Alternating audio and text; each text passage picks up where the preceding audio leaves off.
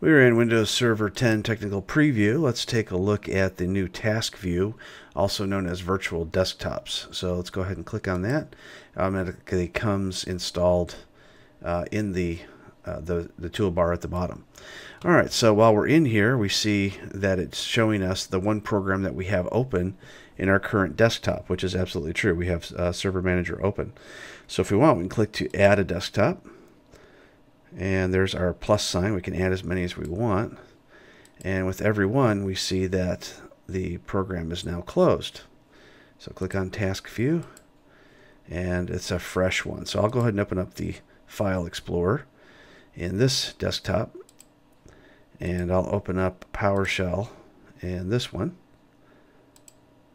So you can actually see the different Task View desktops, and you can switch between them and you can add additional ones uh, whenever you like. So that is a review of Task View in Windows Server 10 Technical Preview.